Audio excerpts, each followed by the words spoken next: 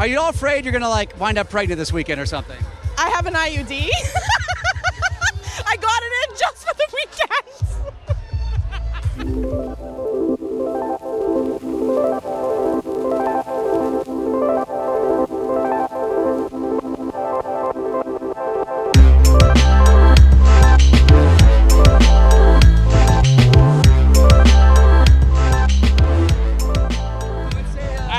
I, I got what I got. It's not a lot, but I'm rocking it. You know what I'm saying?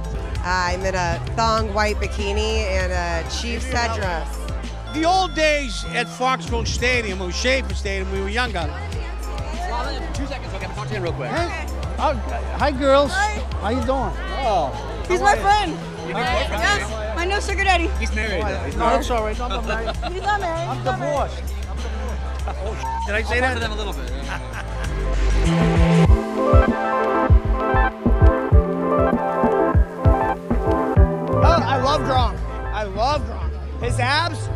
as good as mine.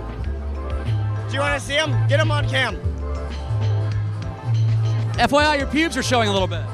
Yes. I yes, that's that's why. I'll show him more. Didn't you want to like kind of trim up your pubes before you came out to the Super Bowl? Nope. Girls love pubes. We want to party like rock stars, and we love Gronk, and we love the Patriots. That's why we're here. Free drinks, like right? Right. Everything. It's all you can eat, all you can drink.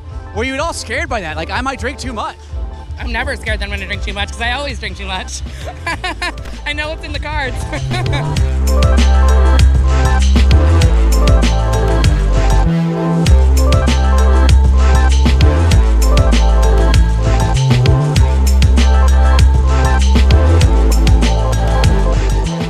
on my Snapchat, on my Instagram, everything is Miss Erica Ramos.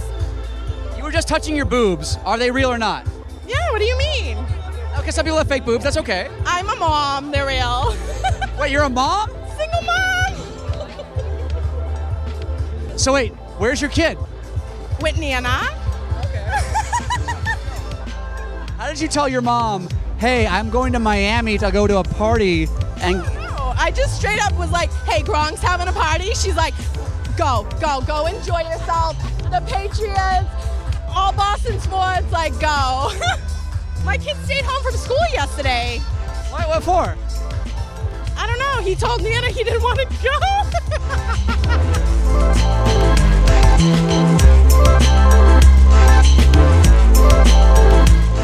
Well, I live in Miami. I love to get drunk. I love to party.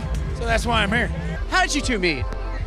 Dude, honestly, we met four years ago. I, I was drunk enough. Bad decisions. Bad decisions. And what was that first time like? Uh, it was great until the next morning when he woke up and he said, Well, I guess I'm single now. Wait, were you dating somebody at the time? Possibly. I mean, I could have been casually dating another woman. Yeah, like three of them. So he was banging three chicks and he hooked up with you though, which is nice. Yeah. So how long have you guys been married? 32 wonderful years. Very nice. Very nice. Very sweet. And she's fine and she's hot. So you would let Gronk hook up with your girlfriend? Yes. Why? That'd be epic. Would you want to watch or no? I'd have to. I could not. Just to see how it is like, right? Dude, I mean, I'd be like, we might have to break up, but like, that's epic. It'd Be an awesome story. I, would be like, so on the record, I am um, Eskimo Rose with Post Malone. It's my, it's my claim to fame. If you could have a threesome with Gronk and your lady friend, would you would you want to do that? I smack Gronk on the ass. Yes, for sure. yeah. Oh, we, we have a good time. Yeah. Threesome, sometimes you touch wieners. It happens. Would you be okay with touching Gronk's wiener? Uh, The heat of passion. yeah. Well, that, that's something that's uh, in the books. I, I couldn't say that. Right. You don't know until you get there, right? Right, right. I'm not gonna complain. I wouldn't mind either.